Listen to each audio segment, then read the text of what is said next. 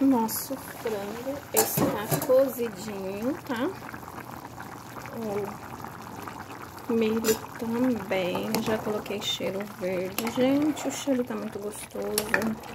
E agora, a gente vai pegar aquele milho que a gente bateu e vai despejar, sim. E aí a gente vai mexendo. Lá em São Paulo, esse prato tem um nome específico,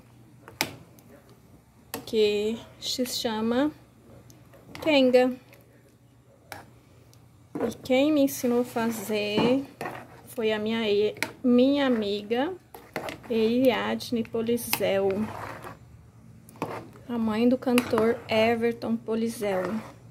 Aí agora a gente vai deixar aqui cozinhando e sempre mexendo, tá?